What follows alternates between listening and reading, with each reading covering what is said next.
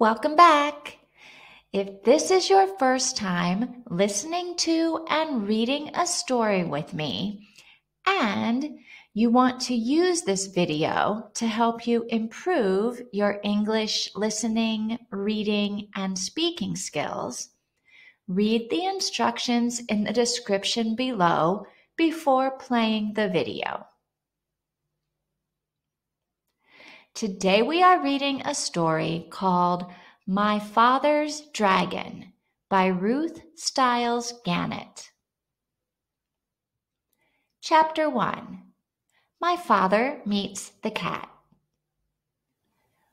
One cold, rainy day when my father was a little boy, he met an old alley cat on his street. The cat was very drippy and uncomfortable. So my father said, Wouldn't you like to come home with me? This surprised the cat. She had never before met anyone who cared about old alley cats. But she said, I'd be very much obliged if I could sit by a warm furnace and perhaps have a saucer of milk. We have a very nice furnace to sit by, said my father, and I'm sure my mother has an extra saucer of milk. My father and the cat became good friends, but my father's mother was very upset about the cat. She hated cats, particularly ugly old alley cats.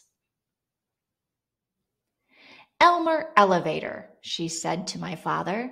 If you think I'm going to give that cat a saucer of milk, you're very wrong.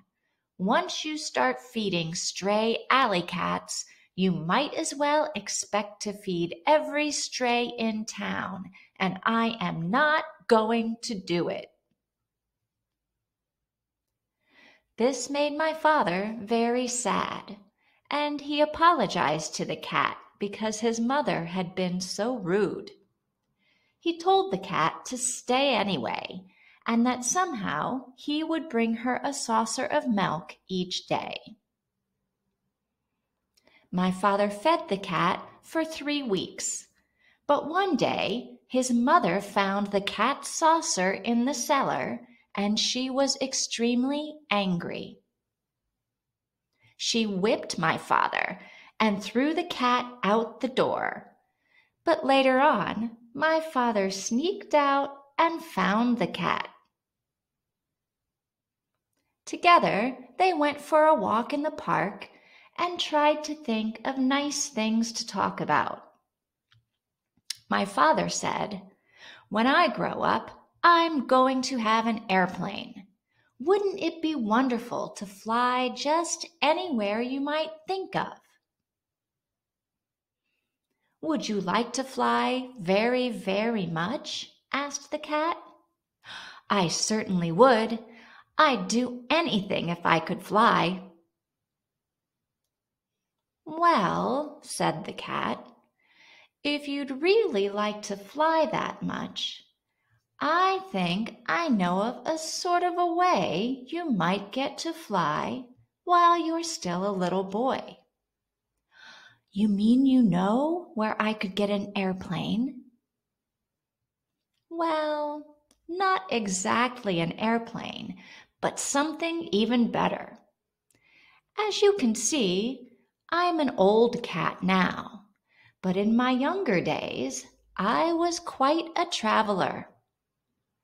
My traveling days are over, but last spring I took just one more trip and sailed to the island of Tangerina, stopping at the port of Cranberry.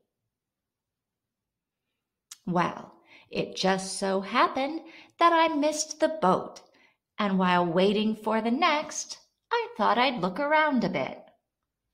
I was particularly interested in a place called Wild Island, which we had passed on our way to Tangerina.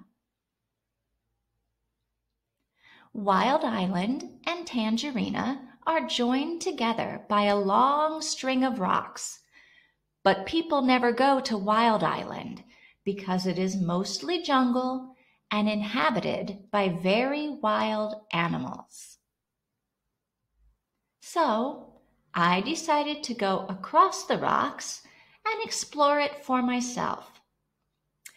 It certainly is an interesting place but I saw something there that made me want to weep.